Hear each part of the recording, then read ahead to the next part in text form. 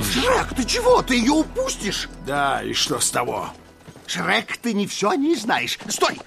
Вчера мы разговорились, она... Ага, я в курсе разговора. Откровение слышал.